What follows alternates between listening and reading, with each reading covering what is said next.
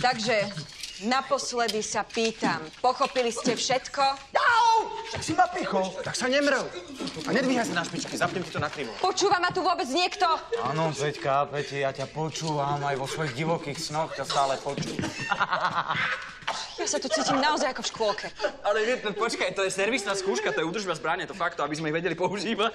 Môžete sa aspoň tváriť vážne, keď držíte zbraň. Dobre. Tu sme hotoví.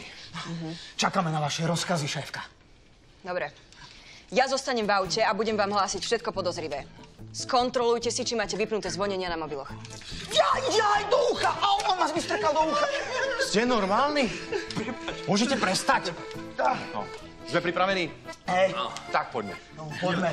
Poďme do, do ucha. Čak, počkaj, poď von, poď von. S týmito bláznami nemáme šancu. Nie sú to blázni. Sú trochu nervózni, ale je to nebezpečná akcia.